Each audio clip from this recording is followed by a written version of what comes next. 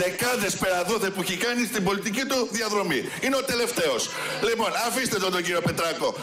Δεν θυμάται ούτε ο ίδιος από που έχει περάσει. Όμως, Κατάλαβα. όμως, Είναι προσωπικό. άστα τώρα, άστα τώρα. Ας καθορίσω οικονόμου ποιος θα είναι Παρακαλώ. ο Άσε κάτω εισηγητής. τώρα, άστο τώρα, άστο Σας τώρα. παρακαλώ πολύ. Από κομμουνιστής μας Και έγινε άστε τώρα. Μνημονιακό Σας παρακαλώ. τώρα. Να είσαι Κατάσταση. προσεκτικός, ε. Να είσαι Άστο πολύ τώρα, προσεκτικός. μην μιλάς πολύ.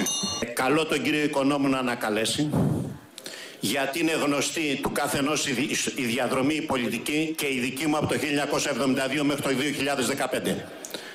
Λοιπόν, οφείλει να ανακαλέσει ο κύριος Οικονόμου αλλάζει τα κόμματα σαν τα πουκάμισα.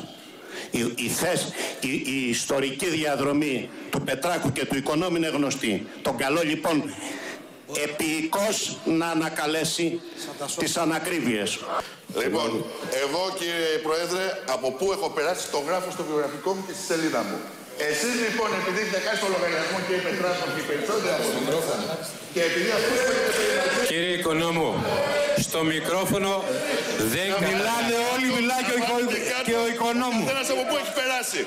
Ο καθένας από πού έχει περάσει. Μιλάνε όλοι, μιλάει και ο οικονόμου. Τα γράφω. Ο- Μιλάνε όλοι, μιλάει και ο οικονόμου. Ναι. Μα δεν είναι επί της διαδικασίας. Αυτό θέλατε. Αυτό θέλατε στην αρχή. Ε, άντε, στο καλό δεν ξεμπερδεύω. δευτερόλεπτα. Τελική άποψη.